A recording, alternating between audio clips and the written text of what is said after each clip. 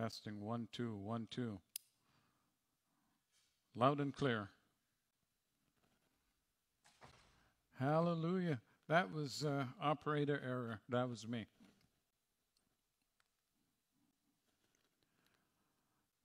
Amen. God is good. He's so good.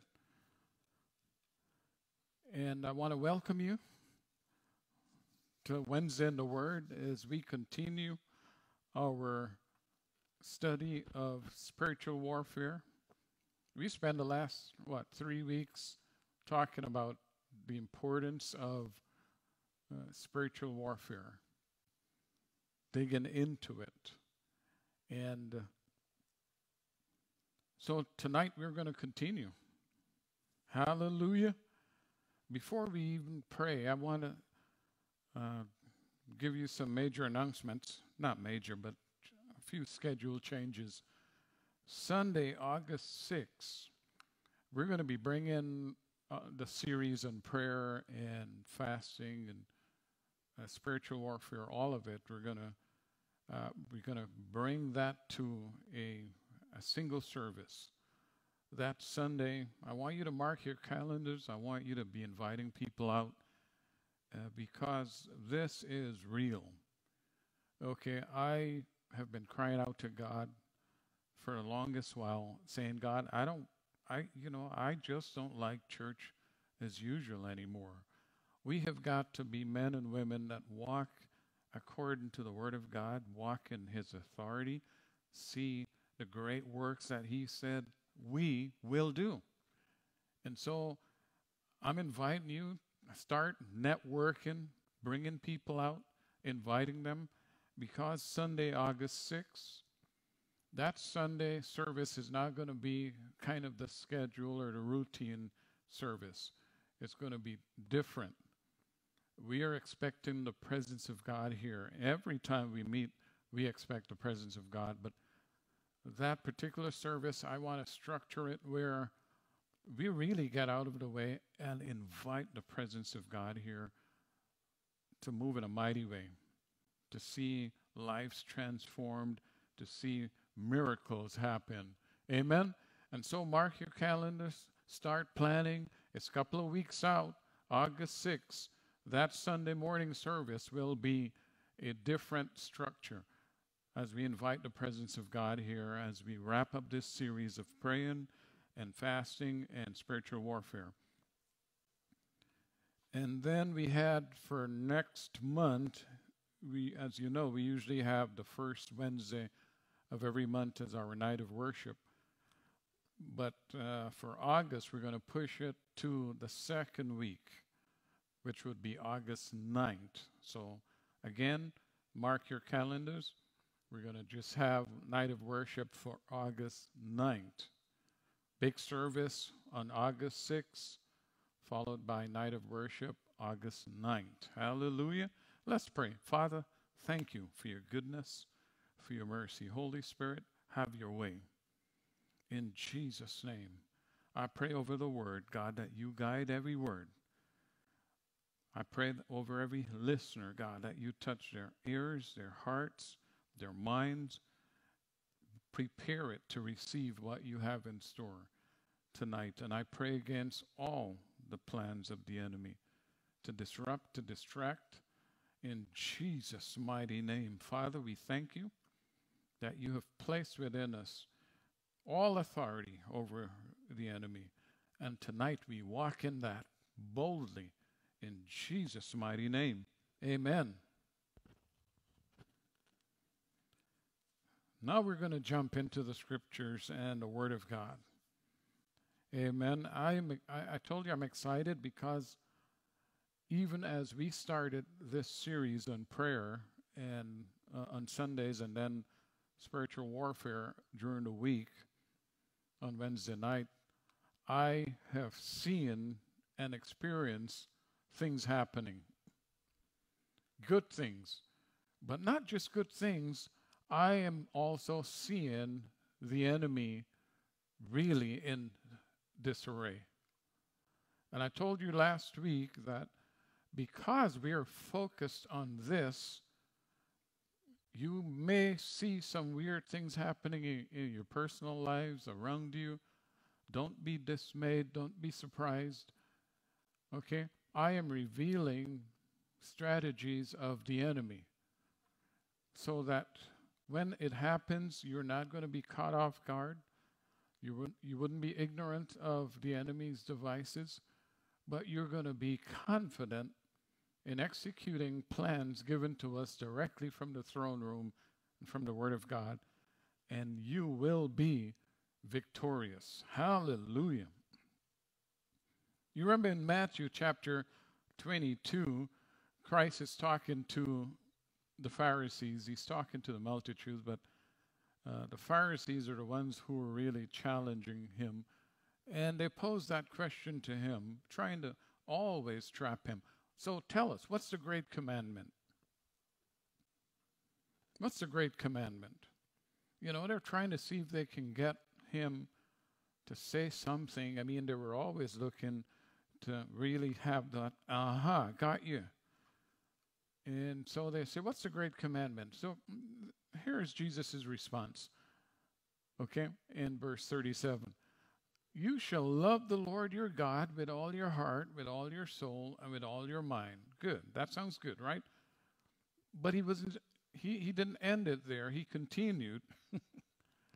this is the first and great commandment. Amen. And the second is like it. You shall love your neighbor as yourself. Love your neighbor as yourself. Because on these two commandments hang all the law of the prophets. In other words, these two are foundation for everything else.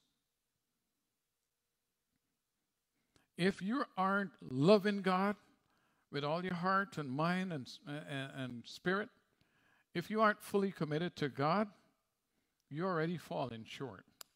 If you aren't loving your neighbors as, yourself, you're already falling short. So, to negate any of these two commandments is to start this journey deficient. And we know in the natural that if we don't have enough nutrients in our bodies, the term is we are malnourished. We're, we're malnourished because we don't have enough nutrients in our body.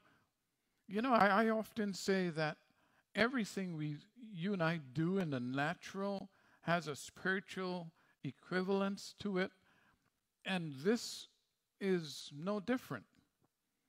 When we talk about nutrients, the thing to make you really start off on a well balanced, well spiritual balanced diet, it is to love the Lord with a passion and enthusiasm. Remember, when I started sharing a couple of weeks ago on prayer on Sunday mornings, as well as when we started the spiritual warfare uh, Bible study, both of those started off from a foundation of what?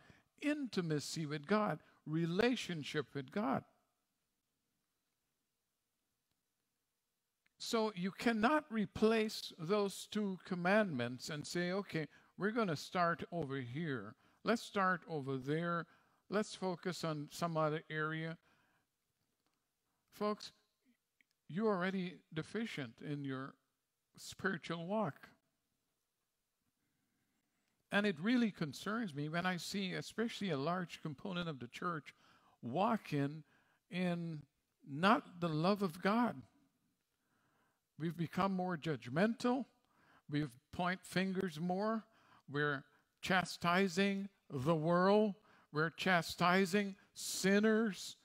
Let me say it again. We're chastising the world. We're chastising sinners. We're rebuking unbelievers. Maybe if I say it again, you'll understand the irony in that. You're chastising sinners, the unbelievers, and the world. Something is wrong with that picture. It would be the same as a sick person arriving at the hospital. They're all beat up, they're all wounded, they're all half dead. and you're like, what on earth are you doing here? Get out of here. Just, just go somewhere else. Uh, I'm coming to the place that can bring the healing that I need, administer the care that I need. But let me, you know, Sunday I, I said something that the enemy is so clever, and yeah, I said that. Satan isn't stupid. And too many Christians are being stupid about that fact. That the enemy is also clever in that he takes the very word of God that was given to us and uses it against us. Why? Because of our ignorance of the word of God. So, whilst we were attacking the unbelievers, we were also keeping them out of heaven. We were also keeping them from a place of repentance instead of coming to them from the place of listen, Christ is the answer. Jesus is the answer. Instead of quitting that job where you're surrounded by heathens, begin to pray that God give you strength and a word for each day so that you can begin to impact those people. You are the light in the darkness.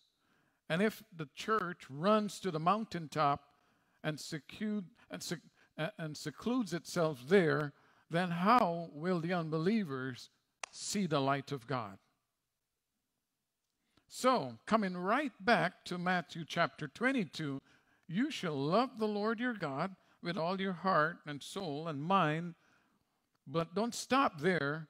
You need to love your neighbors as yourself because all of these, all of these go before the laws of the prophets.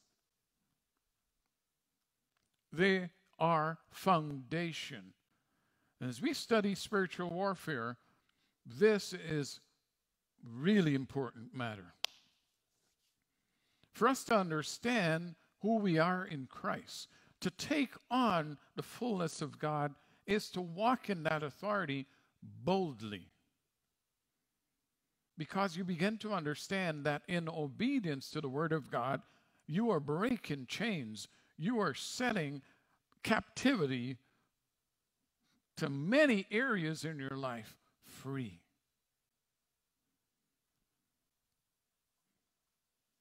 So, looking at First Timothy in chapter 6, I don't know if I'll read all of that, but let's see.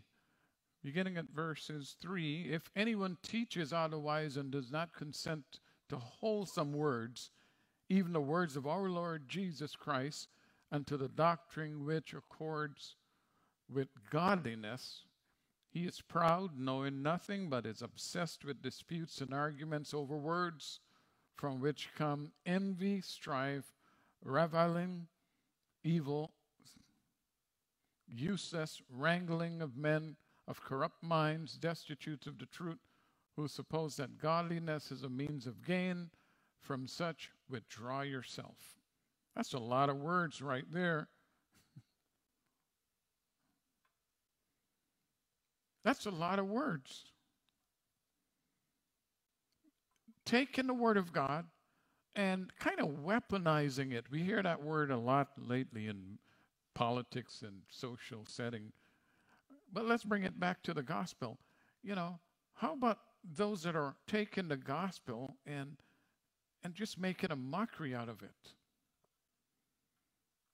And instead of it being the effective tool that was designed to be, we have now allowed the enemy to lie to us like he did to Adam and Eve, lie to us to make us lose purpose, destiny, and vision.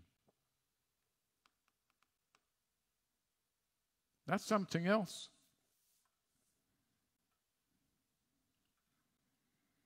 I love the verse 6 it says, But godliness with contentment is great gain. Instead of running after things, you know, we see preachers that are focused on the prosperity gospel because, you know, they pull a scripture verse out and they focus on that. we see some focus on grace, and there it's heavy laden on grace. But what about the balanced diet? Because there is a wrath component to God, there is a consequence component to serving God. There is a right and a wrong. There is a sowing and a reaping. There, it's all of these things building on each other. And these things were not dismantled between the transition from the Old Testament to the New. They're still in place, but we're operating, yes, with a new level of grace, yes, a new level of God's love and mercy to pour into our lives. But you know, the irony there is that the expectation is higher and greater because the scripture tells us that to whom much is given, much is required.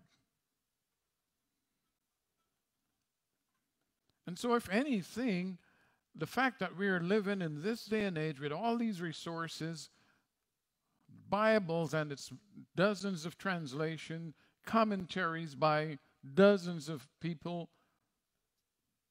study notes by hundreds of people. I mean, internet, YouTube. I mean, we are inundated with information. So the reality is, we have no excuse. When it comes to the things of God, we have got to be plugged in, plugged in, and staying plugged in.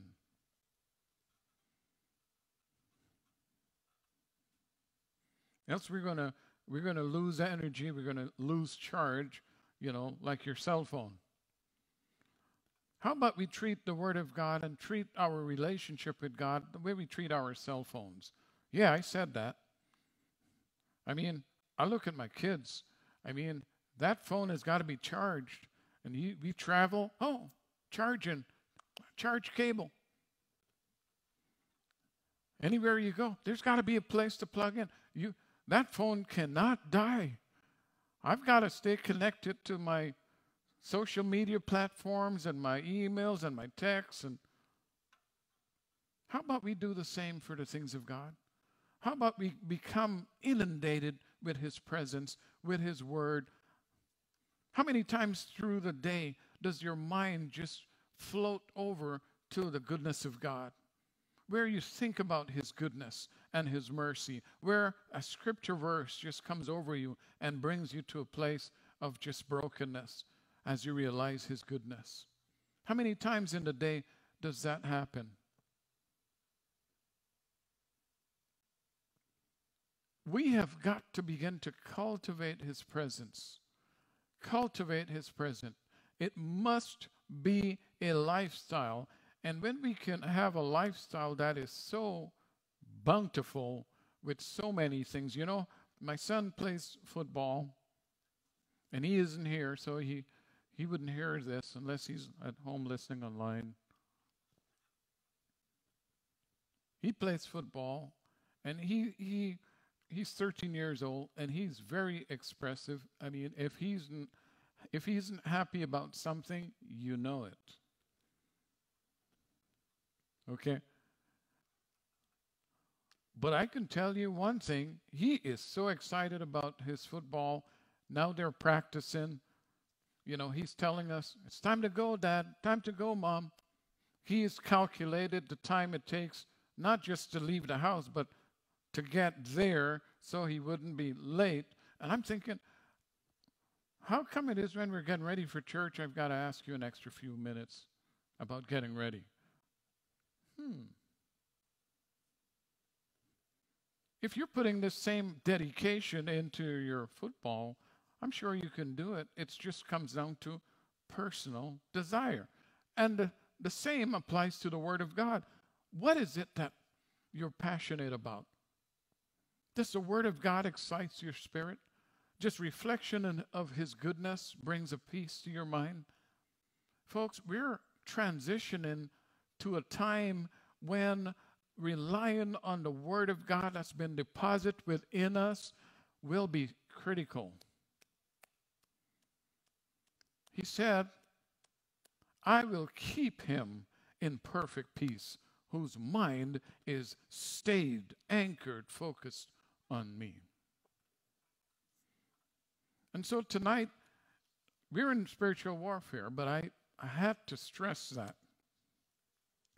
How do we recognize when we are being bombarded by spiritual influences? And let me say that we are. As long as you're living and walking in this life, you're subjected to spiritual forces. You are subjected to spiritual forces. And so you've got to really change your way of thinking, change your way of seeing, change your way of acting. The only way to do so is by allowing the mind of Christ to come over you. Remember, I said last week, on the garment of praise, put on the robe of righteousness. It begins to transform who you are. It changes the picture. It opens your eyes to see what you were once blind to see. It opens your ears to hear what you were once deaf to. But the Spirit of God quickens you and allows you to operate in a place that transcends the wisdom of this world. So, Ephesians chapter 6, verse 11, this is what it says, and it's a familiar passage of Scripture when we talk about spiritual warfare. Put on the whole armor of God that you may be able to stand against the wiles of the enemy. Amen? For we do not wrestle against flesh and blood, but against principalities, against powers, against rulers of darkness of this age, against spiritual hosts of wickedness in heavenly places. We're not fighting our neighbors. We're not fighting our coworker. You might have somebody that's acting really weird and strange. Listen, you're dealing with spiritual forces.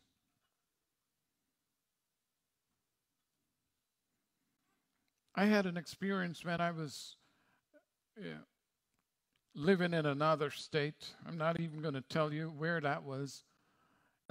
Ignorantly into ambushes and into defeat, trying to figure out one thing after the next, and we'll be confused and dazed when God says, Listen, why don't you stop? Understand my word, understand my promises. Know that I've deployed around and within you the strength to be overcomers. Remember, it was Daniel. Let's go back. Revelations chapter 12 is a reference to demonic forces falling. Revelations chapter 12, verse 7 and war broke out in heaven.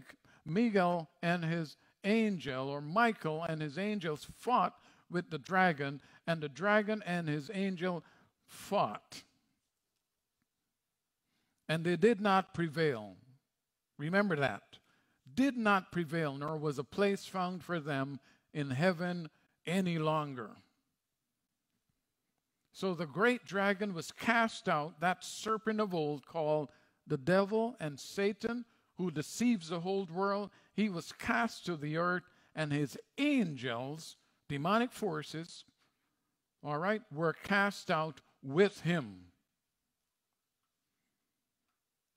I want you to remember that. The great dragon was cast out, and he had a slew of demonic forces that accompanied him. If you go to Daniel chapter 10, we see a story of the prophet Daniel praying and seeking God. He had a vision, it was disturbing in his spirit, and he is going before God. He is seeking God. It says he went in to prayer and fasting. But this is the part that's interesting. All right? verse 12. I want us to just start there. An angels appeared to him. Then he said, Do not fear, Daniel, for, for, for from the first day that you set your heart to understand, to humble yourself before your God, your words were heard. And I have come because of your words. You tell me prayer and its persistence doesn't matter? It matters. Let's go to verse 15. When he had spoken such words to me, I turned my face towards the ground and became speechless. He lost strength. And suddenly one having the likeness of the sons of men touched my lip.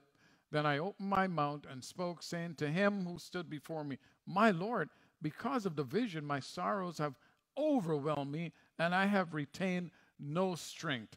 I am weak in my body. But listen to this, verse 17. For how can this servant of my Lord talk with you, my Lord? As for me, no strength remains in me, nor is any breath left in me. Then again, the one having the likeness of a man touched me and strengthened me. So you're going to experience weakness. But you have to understand there is warfare that is happening around you. It is happening around you. If you go back to verse 13, okay, the reason he couldn't get in, but the prince of the kingdom of Persia, which withstood me 21 days, this was the time he was fasting. We hear of the Daniel fast, 21 days. He was fasting. It says the prince of the kingdom of Persia. Remember, spiritual wickedness in high places, principalities, rulers, regional forces. Michael, one of the chief princes, came to help me. So, this archangel who was warring against this demonic stronghold, the prince of Persia, had assistance from another mighty angel of God who came to his aid and in that 21 day, a fight was happening. Listen, you need to understand it. I know this is crazy, but we are just operating in this world with a physical body. The actuality is we are spiritual beings.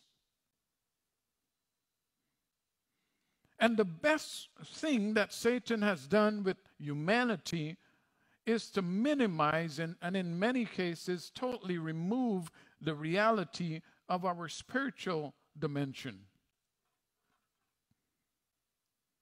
And so the majority of people simply see flesh, they see body. Don't talk to them about heaven and hell.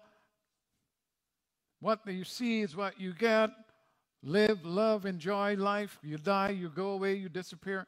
That's what the enemy wants you to think whilst he continued to capture as many as possible to take with him on that day when they will all be cast into the lake of fire. So, how does demonic forces work? I want to list several familiar passages of Scripture, and I'll go through these really fast so I, I really encourage you to take notes. These are all spiritual forces, Satan army deployed throughout the earth. And there's something else that I want you to know. When I really sat back and got a, a grasp of the gravity of this, man, it, it really awoke in my spirit. Because do you realize that these same demonic forces are the same ones that were attacking Daniel, Shadrach, Meshach, Abednego, the same spirits that were attacking Saul, the same spirits that were attacking Elijah, those demonic forces have traveled through the ages. They're here today. What's the relevance of that information? It means they have an arsenal of humanity's behavior. You and I think we're clever. But demonic forces are showing up to work against you with decades, century of information of how humanity responds to things. The lust of the flesh, the pride of life, the lust of the eyes, all chronicled for decades and centuries, generations after generations, and now it's at your doorstep. They knew how your grandfather responded to this temptation, they're bringing it to you. They knew how your foreparents reacted to this temptation. They're bringing it to you. They know how they reacted, they know how they resisted, and they're manipulating. So, what does the believer do? The believer fortifies himself in the Word of God and allow the Spirit of God to fill him. So, one, spirit of the Antichrist. That's one. And all of them are really operating in that authority. And what is the spirit of the Antichrist? It is the spirit that rises up itself against what? The knowledge, even the knowledge of God. Remember, Satan was cast out of heaven. He still wishes he could be back there. And when he looks at humanity, who has an opportunity to unite with the Father, it brings him into rage because he sees an opportunity that was missed.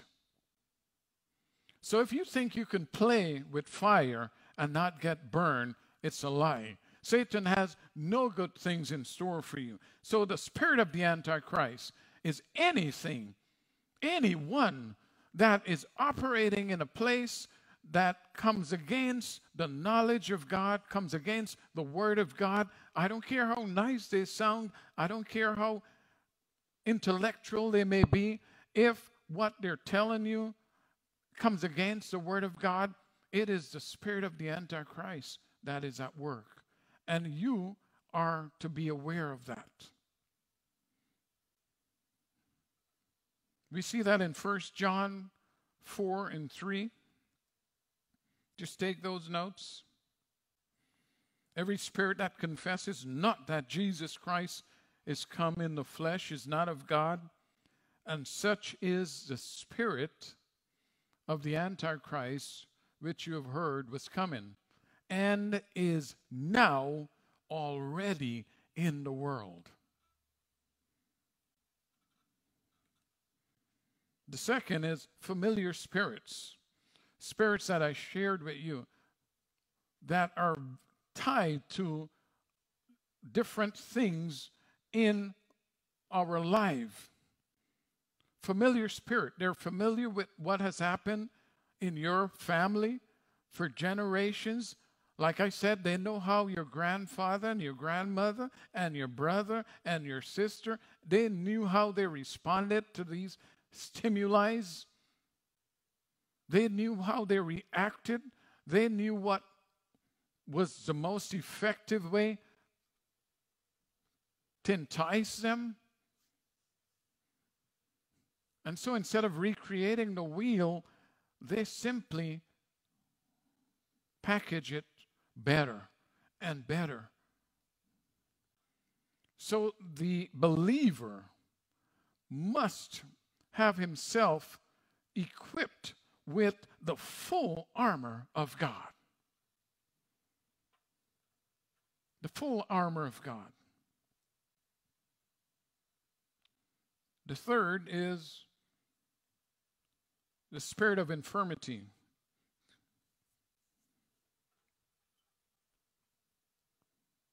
The spirit of infirmity. We see in Luke chapter 13, Christ rebuked a woman who had a spirit of infirmity over her for 18 years, cast that devil out of her. A spirit that brought sickness over her. It says when she showed up there, she was bent over in a sick, sickly looking state. But it wasn't physical, it was a spirit of infirmity that had infiltrated her, her body. And Jesus cast it out. Woman, you're loosed from your infirmity, he said.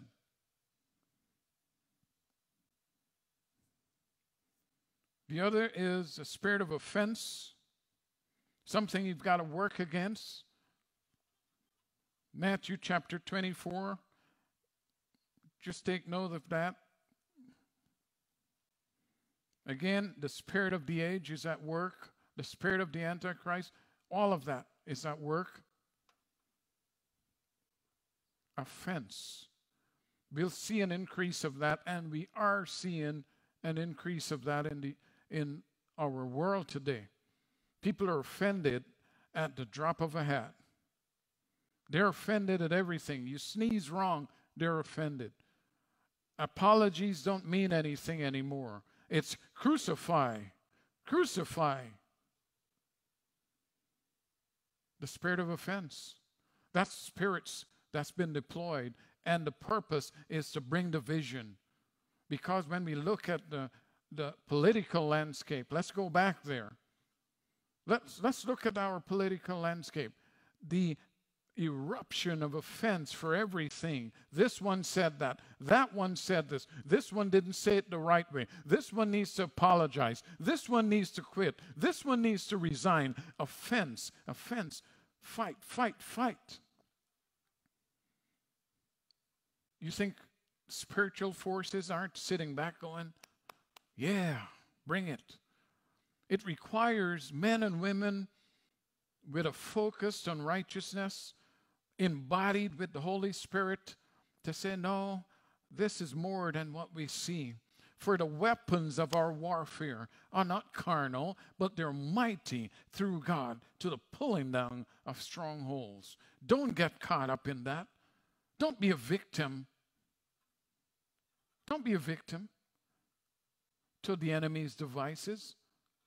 When offense begins to rise up in you, you'll feel it. You'll feel that rising up in you. It's an anger, it's a frustration, it's an agitation. When that begins to happen, you need to arrest it right there and says, "You spirit that's trying to come in, I cast you off in the name of Jesus." Begin to speak to your environment, begin to speak to yourself. The word of God tells us to put on the garment of praise for the spirit of heaviness. Push it back. Says no. Spirit of fear. 2 Timothy 1 and 7.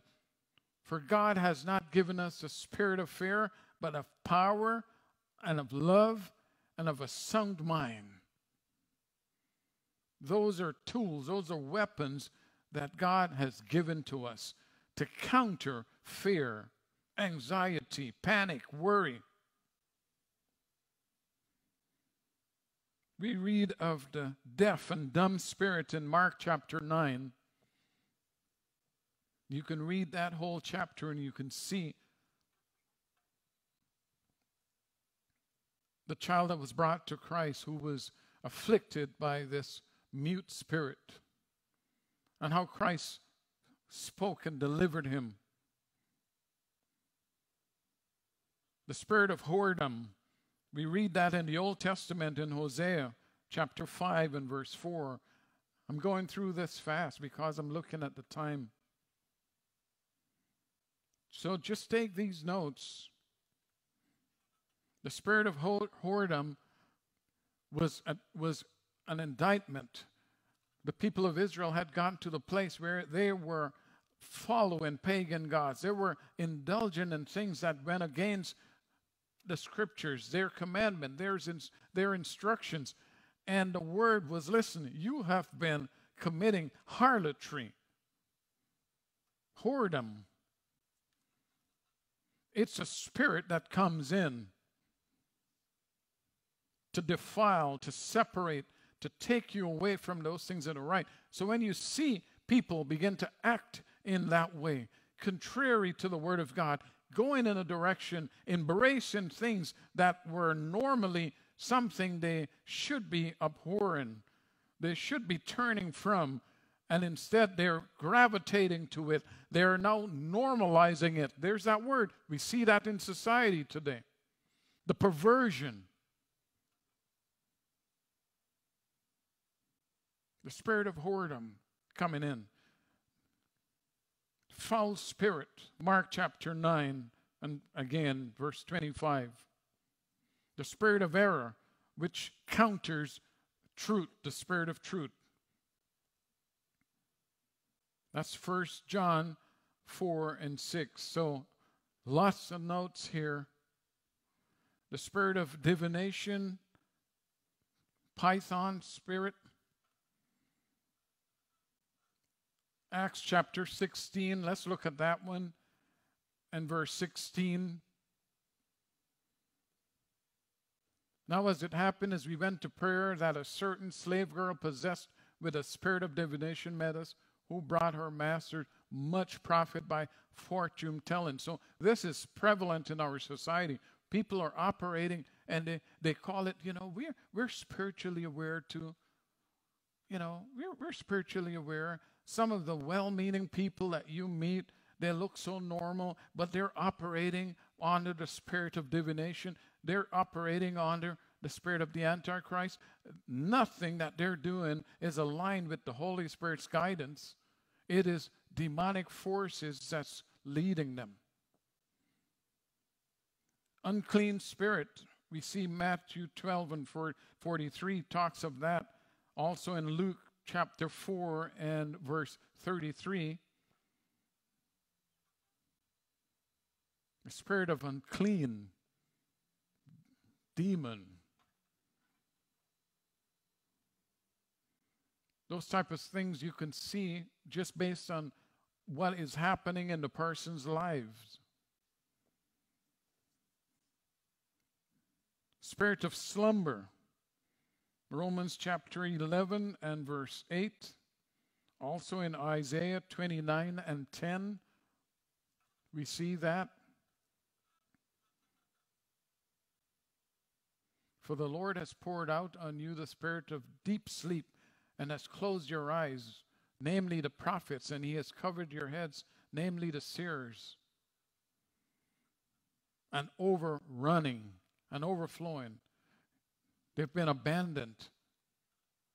They've been given over to.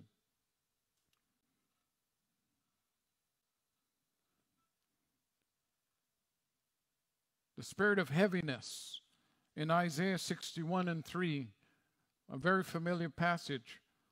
The garment of praise for the spirit of heaviness, and before that, the oil of joy for mourning, that they may be called trees of righteousness.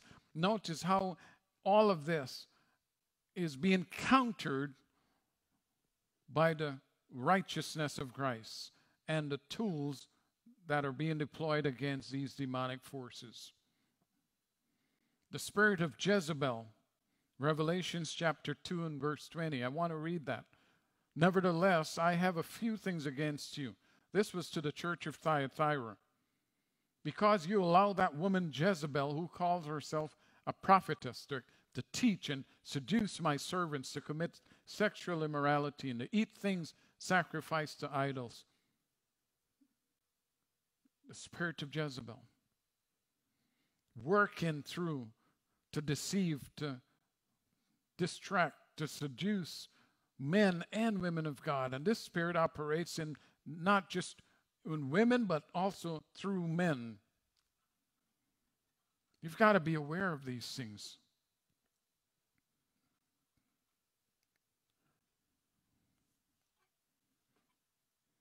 How do you counter an attack of these demonic forces?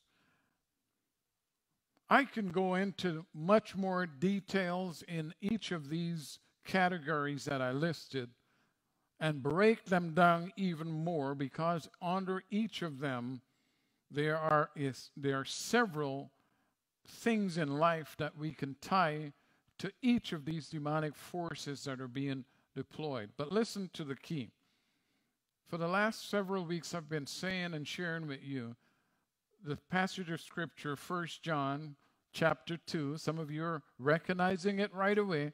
1 John chapter 2, verse 15 through 17. What does it say? Do not love the world or the things in the world. If anyone loves the world, the love of the Father is not in him.